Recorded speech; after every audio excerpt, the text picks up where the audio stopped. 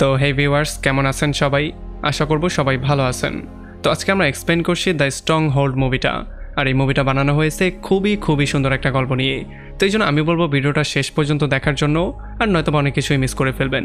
তো চলুন কথা না বাড়িয়ে শুরু করি আজকের ভিডিও তো এই গল্পে শুরু হয় ভিকো নামের একটা ছেলেকে দিয়ে, যে কিনা ছোটবেলাতেই একটা কার অ্যাক্সিডেন্টে তার বাবা মা সহ তার পুরো ফ্যামিলিকে হারিয়ে ফেলেছিল।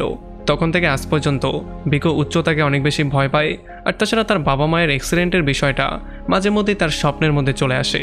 তো এর কয়েকদিন পরে যখন বিকোর স্কুল থেকে সমস্ত বাচ্চাদেরকে সূর্যগ্রহণ দেখানোর জন্য একটা পাহাড়ের উপরে নিয়ে যাওয়া হয়, তখন বিকো সেখানে যেতে চায় না, কারণ উচ্চতাকে তার অনেকটা ভয় লাগে।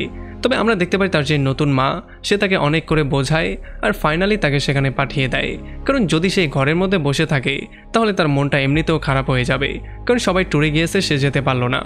আর এখান থেকে গল্প চলে আসে এক হাজার বছর পাস্টে এখানে আমরা দেখতে পারি একটা জাদুঘরকে, যে কিনা তার ভয়ঙ্কর কালো জাদুর মাধ্যমে স্টোন অফ পাওয়ারকে জীবিত করার ট্রাই করছিল। তবে তার জাদুর মধ্যে কিছু একটা হয়ে গেলে তার জাদুটা একটা ড্রাগনের রূপ ধারণ করে। আর সেই ড্রাগনটা দেখতে ঠিক তেমনটাই ছিল, যেমনটা বর্তমানে ভিকো একটা জ্যাকেটের উপরে পড়েছিল। আর তখন এদিকে ভিকো তার বেস্ট ফ্রেন্ড টমের সাথে মিলে খুবই সুন্দরভাবে ট্রিপটাকে উদযাপন করছিল, তারা এখানে অনেক ফুর্তি করছিল। তাছাড়া আমরা দেখতে পারি তারা সঙ্গে করে কিছু বম আর একটা ম্যাক্স ফোনও নিয়ে এসেছিল। তবে এমন করে করেই যখন তারা একটু সামনে আগায়, তখন তাদের সামনে একটা কাঠের ব্রিজ চলে আসে। যেই ব্রিজটাকে পার করে তাদেরকে ওই পারে যেতে হবে। তবে যখন ভিকো যাওয়া শুরু করে, তখন তার ফোবিয়ার জন্য সে মাঝপথে গিয়ে আটকে যায়, আর সে সামনে যেতে পারছিল না। তার মাথা মোতা চক্কর দিচ্ছিল, সে এখানে পড়েই যাওয়া ধরছিল। তবে তখনই টম এসে কোনো রকমে তাকে ধরে আবারও তাকে ওই পারে নিয়ে যায়। আর এই ব্যাপারটা দেখার পরে অন্য সমস্ত বাচ্চারা তাকে নিয়ে মজা করা শুরু করে। তারা তাকে নিয়ে হাসাহাসি করে। আর এই ব্যাপারটার জন্য ভিকো অনেকটা অপমানিত বোধ করে। তো এই জন্য সে দৌড়ে সেখান থেকে চলে আসে পাহাড়ের একটা ঢালু জায়গার কাছে। আর এখানে যখন সে মন খারাপ করে বসেছিল, তখন তাকে ফলো করতে করতে টমও এখানে চলে আসে আর সে তাকে সান্ত্বনা দেওয়ার ট্রাই করে। তবে যখন টম তাকে সান্ত্বনা দিচ্ছিল, তখনই সূর্যগ্রহণ হয়ে যায়। আর এই গ্রহণের জন্য এখানে একটা ফাটলের সৃষ্টি হয়। আর তখনই আমরা দেখতে পারি পাহাড়ের একটা অংশ ভেঙে পড়ে যায়। আর যেহেতু টম সেই জায়গাটায় ছিল, তো এই জন্য টমও নিচের দিকে পড়ে যাওয়া শুরু করে। তবে একেবারে শেষ মুহূর্তে টম পাহাড়ের একটা কোনা ধরে কোনো রকমে নিজেকে সেভ করে ফেলে। তবে যেহেতু সে হাত দিয়ে এটা ধরে রেখেছে, তো এই জন্য খুব বেশি একটা সময় সে এমন করে থাকতে পারবে না। সে বারবার করে তার বন্ধুকে বলছিল তাকে সাহায্য করার জন্য। যদিও বিকো তাকে সাহায্য করতে চাইছিল, তবে তার ফোবিয়ার জন্য সে ভয়েই সামনে আগাতে পারছিল না। তবে তখনই পেছন দিয়ে একটা ভয়ঙ্কর পোর্টাল ওপেন হয়ে যায় আর কোনো একটা অদ্ভুত শক্তি তাকে টেনে সেই পোর্টাল দিয়ে অন্য একটা জায়গায় নিয়ে যায়। আর বিকো যখন চারপাশে তাকায়, তখন সে দেখতে পারে সে যেই জায়গায় দাঁড়িয়েছিল, এখনও সে ঠিক সেই জায়গায় দাঁড়িয়ে আছে। তবে সময়টা বদলে গেছে। সে কেমন করে যেন এক হাজার বছর পেছনে চলে গিয়েছে। আর তখন বিকো এটার একটু পাশেই দেখতে পারে। অলিস্কো নামের একটা ছেলে তার প্রেমের প্রস্তাব করার জন্য এখান থেকে কিছু ফুল চুরি করার ট্রাই করছিল। তবে তখনই এখানে কিছু সোলজার তার উপরে আক্রমণ করে দেয় আর তাদের সবার সাথে অলিস্কো ফাইট করা শুরু করে। অলিস্কো এতটাই পাওয়ারফুল ছিল যে এই সমস্ত সোলজারদেরকে হারানো তার জন্য ছিল বাঁ হাতের খেলা। তবে তখনই এই সোলজারদের বস অ্যান্ডালকো এখানে চলে আসে আর সে তার সৈনিকদের সাথে মিলে অলিস্কোকে আচ্ছা রকম ধোলাই করে ফাইনালি তাকে সেখানে বন্দিও করে ফেলে। তবে তখনই ভুলবশত বিকোর পাটা পিছলে গিয়ে বিকো সেখান থেকে নিচে পড়ে যায়। আর তখনই চাপ পড়ে তার মেগা ফোনটাও চালু হয়ে যায়। আর এই জন্য এটার সাউন্ড সমস্ত সোলজারদেরকে তার দিকে আকর্ষিত করা শুরু করে। আর যখন তারা সবাই চারপাশে তাকায়, তখন এই সুযোগটা নিয়ে অলিস্কো এখান থেকে পালিয়ে চলে যায়। তবে যাওয়ার আগে অলিস্কোর টান দিয়ে ভিকোকেও ঘোরাতে তুলে ফেলে, যাতে করে সেই সোলজাররা তাকে ধরে না ফেলে। আর এরপর সে তাকে নিয়ে সোজা তার গ্রামে চলে আসে। আমরা দেখতে পারি যখন তার গ্রামের লোকজন জানতে পারে ভিকো গ্রাম থেকে বাইরে গিয়েছিল তখন সবাই তাকে অনেক রাগারাগি করে, কারণ গ্রামের বাইরে যাওয়াটা রিস্কি তবে যখন অলেস্কো সবাইকে বিকোকে দেখায়, তখন সবার সন্দেহ হয় যে বিকো কি কোনো গোয়েন্দা কিনা। তো এই জন্য তাকে ধরে তারা একটা রুমের মধ্যে বন্দি করে দেয়। আর এদিকে যখন অ্যাডালকো সেই জাদুকরকে গিয়ে তার হারের কথাটা বলে মানে সে যে তাকে ধরতে পারেনি সেই বাবাটা বলে, তখন জাদুকর রাগ না হয়ে তার উপরে আরও ইমপ্রেস হয়ে যায়। কারণ অ্যাডালকো তাকে বিকোর কথা বলেছিল। আর এই জাদুকর খুব ভালো করেই জানতো যে বিকোর কাপড়ের উপরে সেই ড্রাগনটা আছে, যেই ড্রাগনটা সে জাদুর মাধ্যমে বানিয়েছে। যার মানে আমরা এটা ক্লিয়ারলি বুঝতে পারি যে বিকোই হচ্ছে গিয়ে একমাত্র ব্যক্তি যে কিনা তাকে স্টোন অফ পাওয়ার পর্যন্ত নিয়ে যেতে পারে। আর এদিকে যখন ভিকো বন্দি অবস্থায় ছিল, তখন তার সাথে মিট করতে ওলাঙ্কা নামের একটা মেয়ে চলে আসে। সে তাকে প্রথমে খাবার দাবার দেয় আর তার সাথে কথাবার্তা বলা শুরু করে। আর কথা কথায় সে বলে দেয় যে, তুমি এগারোশো ছেচল্লিশ সালের সময় আসো তবে বিকো আরও কিছু একটা জিজ্ঞেস করতো। তার আগে এখানে অলিস্কো চলে আসে আর সে বিকোকে সঙ্গে করে একটা টেস্টের জন্য নিয়ে যায়।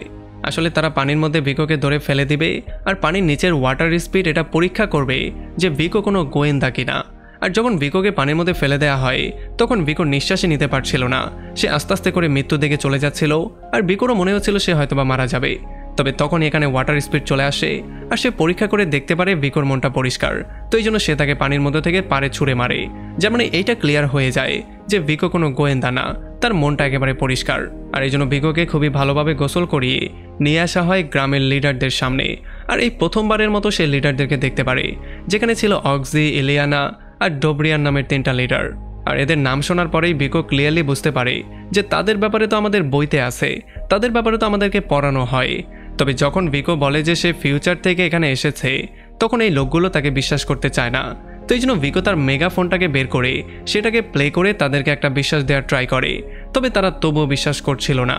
তবে যেহেতু বারবার করে ভিকো রিকোয়েস্ট করছিল, সে তার দুনিয়াতে ব্যাক করতে চায়, তো এই জন্য অক্সি তার কাছে প্রমিস করে, সে যে কোনো মূল্যে তাকে তার দুনিয়াতে ফেরত পাঠাবে। আর এরপরে রাতের বেলায় ভিকোকে অক্সি বলে যে তোমার কাছে ফেরত যাওয়ার দুইটা অপশন আছে। প্রথমে হচ্ছে তুমি সূর্যগ্রহণের জন্য অপেক্ষা করো, আর দ্বিতীয় হচ্ছে তুমি কোনো জাদুকরের মাধ্যমে সেই পোর্টালটাকে আরও একবার জোর করে খোলার ট্রাই করো, কারণ সেইটার মাধ্যমেই তুমি ব্যাক করতে পারবে। কিন্তু অলিস্কো এটা খুব ভালো করেই জানতো যে জাদুঘর মেশ কারও সাহায্য করার আগে তার পরীক্ষা অবশ্যই নেয়। তো এই জন্য ভিকো অলিস্কোর সাথে একটা ডিল করে, সে বলে যে তুমি মেসের সামনে নেয়ার জন্য আমাকে প্রিপেয়ার করবে, আর এর বদলে আমি তোমাকে আমার মেগাফোনটা দিয়ে দিব। আর এর পরের কয়েকটা দিন, ভিকো এখানে এই গ্রামের মানুষদের সাথে থাকা শুরু করে আর অলিস্কো তাকে এক এক করে সমস্ত ব্যাপারগুলো শেখানো শুরু করে। তবে তখন ভিকো একটা পাগলের সাথেও মিট করে, যে কিনা একটা ওয়াচ টাওয়ারের মধ্যে বন্দি ছিল। আর এদিকে ভিকোকে ট্রেনিং করানোর জন্য অলিস্কো অত্যাধুনিক বিভিন্ন ডিজিটাল জিনিস পাচ্ছিল, সে মোবাইল দিয়ে সেলফি নিচ্ছিল, সবার ছবি ক্লিক করছিল। মানে এই জিনিসগুলো পেয়ে তার কাছে এই ডিলটা খুবই পছন্দ হয়ে যায়। তো এই জন্য সে ভিকোকে আরও সুন্দর করে ট্রেন করা শুরু করে। আর যখন ফাইনালি তার ট্রেনিং কমপ্লিট হয়ে যায়, তখন সে ভিকোকে কীভাবে ম্যাসের কাছে যেতে হবে, সেই ম্যাপটা তাকে বলে দেয়। এটা সে এই জন্য করে, কারণ জাদুঘর ম্যাসের কাছে যাওয়ার রাস্তা তাকে একাই বের করতে হবে। আর এরপরে পরদিন সকালবেলা সেই খারাপ জাদুঘরটা একটা কাককে বশ করে তাকে পাঠিয়ে দেয় বিকোর উপরে নজরদারি করার জন্য। আর তখন আমরা দেখতে পারি বিকো একটা জঙ্গল দিয়ে কোনো রকমে সেই রাস্তাটাকে খোঁজার ট্রাই করছিল। তবে বেচারাকে কি ম্যাপটা দেয়া হয়েছে, সেটার আগা মাথা সে কিছুই বুঝতে পারছিল না। তবে তখনই রাস্তায় তার দেখা হয়ে যায় অলেঙ্কার সাথে, যে কিনা তাকে সাহায্য করার জন্য পুরোপুরি রেডি ছিল। তো এরপর তারা দুজন জঙ্গলের রাস্তা দিয়ে চলতে চলতে পাহাড়ের একটা সরু চিপার মধ্যে চলে আসে। তবে এখানে আসার সঙ্গে সঙ্গেই বিকো একটা অদ্ভুত জায়গায় চলে আসে, যেটা আসলে জাদুঘর মেসের একটা পাতানো ফাঁদ ছিল। এখানে ভিকো চারপাশে শুধু মেজেরই আওয়াজ শুনতে পাচ্ছিল, আর এগুলোর জন্য সে একটু ভয়ের মধ্যেও ছিল। তবে মেস তাকে জিজ্ঞেস করে, তোমার সবচেয়ে বড় ভয়ের কারণটা কি? সেটা আমাকে খুলে বলো। আর যেহেতু ভিকো এই জালের মধ্যে আছে, তো এই জন্য সে সত্যি ছাড়া আর অন্য কিছু বলতে পারবে না। তো এই জন্য সে তার ছোটবেলার গল্পটা বলা শুরু করে আর সে বলে যে আমার উচ্চতাকে অনেক ভয় লাগে। আর তার এই সততা দেখার পরে মেস তার উপরে ইমপ্রেস হয়ে যায় আর তাকে স্টোন অফ পাওয়ার পর্যন্ত যাওয়ার যেই রাস্তা, সেইটা সম্পর্কে বলার জন্য রাজি হয়ে যায়। আর এখানে মেস্তাকে বলে, তুমি স্টোন অফ পাওয়ার এমন একটা জায়গায় পাবে, যেখানে মানুষ পাখির মতো বাসা বানায়। তবে সেখানে যাওয়ার জন্য তোমার বাতাসের দরকার পড়বে। আর এই বাতাসটা তুমি তখনই পাবে যখন দুইটা নিষ্পাপ মন একসাথে মিলিত হবে। আর এটা বলার সঙ্গে সঙ্গে বিকো আবারও সেই জঙ্গলে ব্যাক করে, আর সে দেখতে পারে সে আগের জায়গায় আবারও ফেরত এসেছে।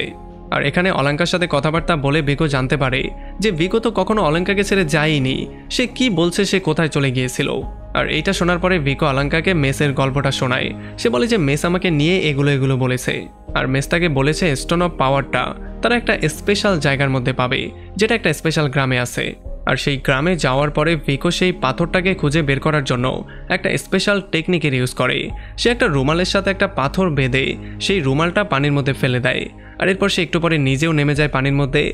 আর অনেকক্ষণ ডুবাডুবি করার পরে ফাইনালি সে স্টোন অফ পাওয়ারটা পেয়েও যায়। তবে জাদুঘরের পাঠানো সেই কাকটাও এই ব্যাপারটা দেখতে পারে।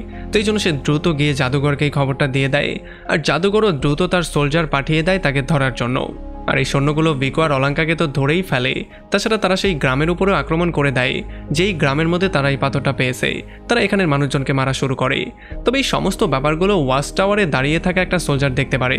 তো এই জন্য সে দ্রুত অলেস্কো আর তার সোলজারদেরকে এটার খবর জানিয়ে দেয়। আর এই জন্য ভিকো আর আলাঙ্কাকে বাঁচানোর জন্য তাদের গ্রাম থেকেও একটা বাহিনী চলে আসে, যেই বাহিনীর নেতৃত্ব দিচ্ছিল অলিস্কো। আর অলিস্কো আর তার গ্রুপ মিলে খুব সহজেই এক করে জাদুঘরের বাহিনীকে হারিয়ে দেয় আর এক এক করে তাদের সবাইকে মেরে ফেলে। আর তারা ভিকো আর আলাঙ্কাকে নিয়ে আবারও তাদের গ্রামে ব্যাক করে। আর গ্রামে আসার পরে প্রথমে তাদেরকে কিছু না বলে বাইরে যাওয়ার জন্য তাদের দুজনকে অনেকক্ষণ রাগারাগি করা হয়। আর পরে ফাইনালি সিদ্ধান্ত নেওয়া হয় যে কালকে অলেস্কো ভিকোর সঙ্গে গিয়ে সেই পাথরটা প্রথমবারের মতো ব্যবহার করবে। আর তখন অন্যদিকে অ্যালডানকো জাদুঘরের উপরে প্রচণ্ড রাগ করেছিল, কারণ শুধুমাত্র জাদুঘরের একটা ভুলের জন্য অ্যান্ডালকোর পুরো একটা বাহিনী মারা গিয়েছে। তো এরপরে পরদিন সকালবেলা যখন অক্সি ভিকোর সাথে গিয়ে সেই পাথরটার পাওয়ারটা ইউজ করার ট্রাই করে, তখন আসলে এখানে কোনো লাভই হয় না। আর এই ব্যাপারগুলোতে তারা খুবই হতাশ হয়ে যায়। তবে অক্সির মতে, তাদের বৃষ্টির জন্য অপেক্ষা করতে হবে, কারণ স্টোন অফ পাওয়ারের যেই গড আছে, সে আসলে বৃষ্টিরও গড। আর এরপরে যখন সে অক্সির বাসায় ব্যাক করে, তখন সে দেখতে পারে অক্সি একটা প্লেন বানানোর ট্রাই করছে। সে আসলে এমন কিছু একটা বানাতে চায়, যেটার মাধ্যমে মানুষ উঠতে পারবে। আর এটা দেখার পরে সেও তাকে সাহায্য করা শুরু করে। আর সেই দিন থেকে শুরু করে, সে প্রত্যেক দিনই তার বাসায় এসে তাকে সাহায্য করছিল। তবে মাঝে মধ্যে সে গিয়ে ওলাঙ্কার সাথেও কথাবার্তা বলতো, কারণ তার সাথে কথাবার্তা বলতে সে খুবই এনজয় করতো। আর তখন এদিকে আমরা দেখতে পারি সেই ভয়ঙ্কর জাদুঘর আরও একটা ভয়ঙ্কর জাদু করার ট্রাই করছিল, যেটার মাধ্যমে সে স্টোন পাওয়ারটা পেতে পারে। আর তখন গ্রামে তারা অ্যান্ডাল করে একটা স্বর্ণর উপরে টর্চার করে তার মুখ থেকে এটা বের করিয়ে ফেলে যে এই স্টোন অফ পাওয়ার সম্পর্কে অ্যান্ডালকেও জানে। এইটা জানার পরে তারা খুবই শক্ট হয়ে যায় আর তারা দ্রুত এই পাথরটাকে লুকিয়ে ফেলার ট্রাই করে। আর এই জন্য অক্সির মতে ওয়াচ টাওয়ারটা হচ্ছে সবচেয়ে সেফ জায়গা।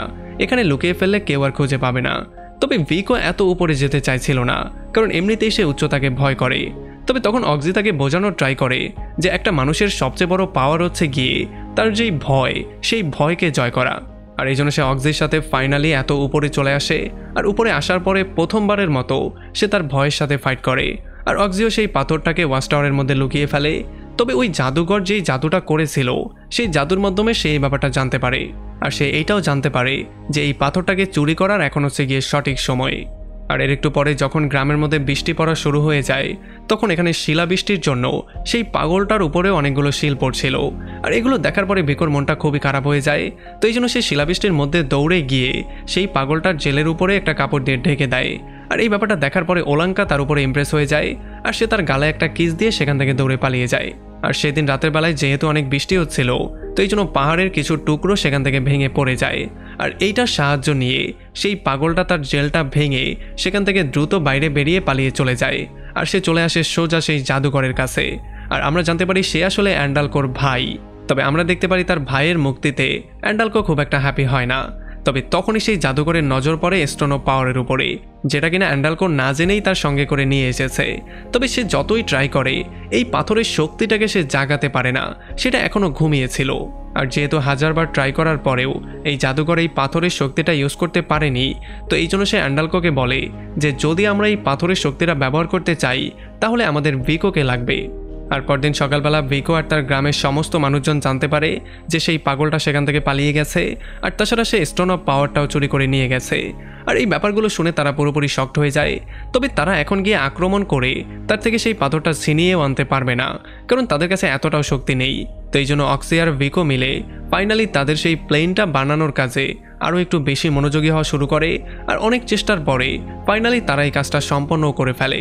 তারপরে পরদিন সকালবেলা, যখন অক্সিয়ার ওলাঙ্কা একটা কাজে বাইরে যায়, তখন অ্যাডিয়ানের লোকজন এসে তাদের উপর আক্রমণ করে দেয় আর তারা অক্সিকে মারধর করে ওলাঙ্কাকে বেউস করে সেখান থেকে নিয়ে যেতে সফল হয়।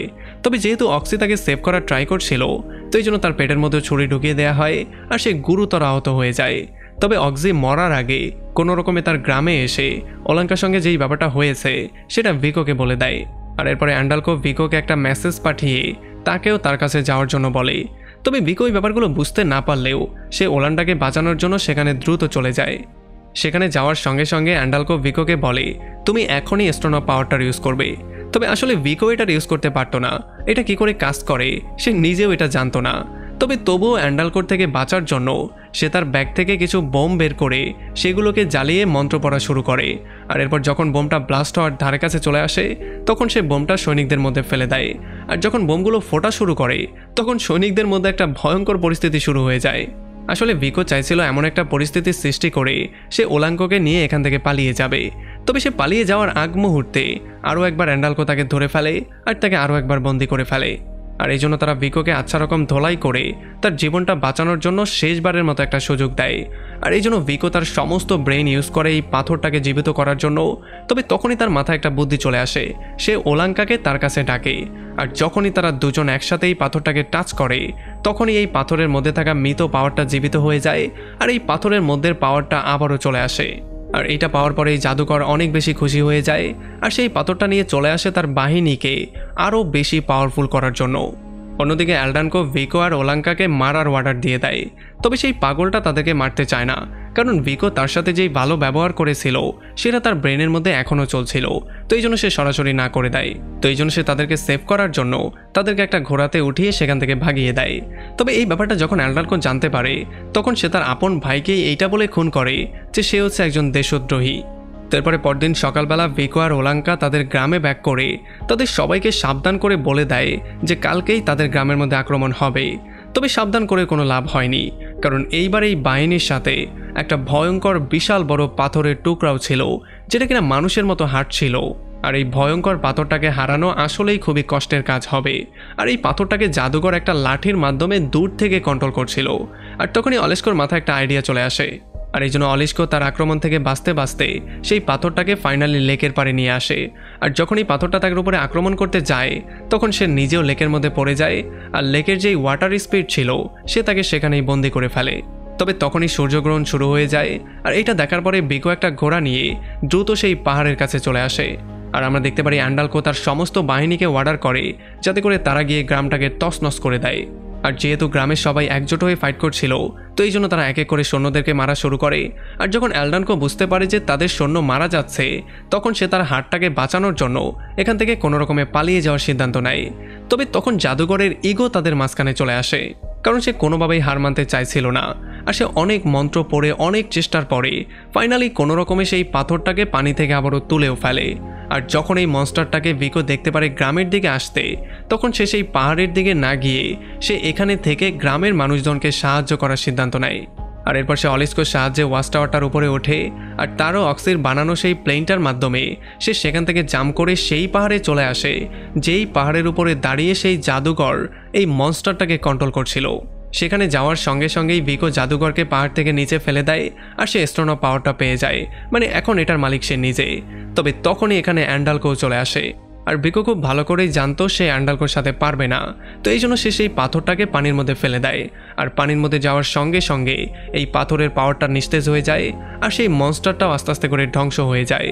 আর এই ব্যাপারটা দেখার পরে অ্যালডানকো প্রচণ্ড রাগ করে বিকোকে এখানেই মেরে ফেলার সিদ্ধান্ত নেয়। তবে একেবারে শেষ মুহূর্তে এখানে অলিস্কো চলে আসে আর সে ফাইনালি বেকোকে সেভ করে ফেলে। আর সে অ্যান্ডালকোকে পাহাড় থেকে নিচে ফেলে তাকেও সেখানে শেষ করে দেয়। তবে এখনও তাদের মিশন শেষ হয়নি, কারণ সূর্যগ্রহণ শেষ হতে অল্প একটু সময় বাকি আছে। তো এই জন্য অলিস্কো ভিকোকে ঘোড়া দিয়ে সেই জায়গায় নিয়ে আসে, যেখান দিয়ে সেখানে এসেছিল মানে সেই পাহাড়ের কাছে। আর এখানে এসেই ভিকো দেখতে পারে সেই পোর্টালটা ওপেন করা, আর যখনই ভিকো এটার মধ্যে ঢুকতে যায় তখন এখানে ওলাঙ্কা চলে আসে, আর সে ভিকোর কাছে প্রমিস করে, সে সারা জীবন তার জন্য অপেক্ষা করবে। আর এরপরে যখনই ভিকো সেই পোর্টালের মধ্যে ঢুকে যায়, তখন সে আবারও ঠিক সেই সময় ব্যাক করে, যেই সময় থেকে সে সেখানে চলে গিয়েছিল। সে দেখতে পারে তার ফ্রেন্ড সেখানে ঝুলছে, তবে এইবার সে তার ফ্রেন্ডকে সেভ করে ফেলে, আর এই জন্য সে তার পুরো ক্লাসের মধ্যে হিরো হয়ে যায়। আর এমনই একটা পয়েন্টে এই পুরো মুভিটা এখানে শেষ হয়ে যায়। এখন মুভির মধ্যে সব কিছুই তো ঠিক ছিল, তবে ওলাঙ্কার জন্য আমার খুবই খারাপ লাগছে। বেচারি এতদিন ধরে তার জন্য ওয়েট করবে। তবে যাই হোক কমেন্ট করে আমাকে জানান কেমন লাগল ভিডিও যদি ভালো লাগে তাহলে অবশ্যই একটা লাইক করবেন। আর যদি এখনও আমাদের চ্যানেলটা সাবস্ক্রাইব করে না থাকেন, তাহলে প্লিজ করে ফেলুন। আমাদের দেখা হবে অন্য কোনো ভিডিওতে অন্য কোনো একদিন। Till then take care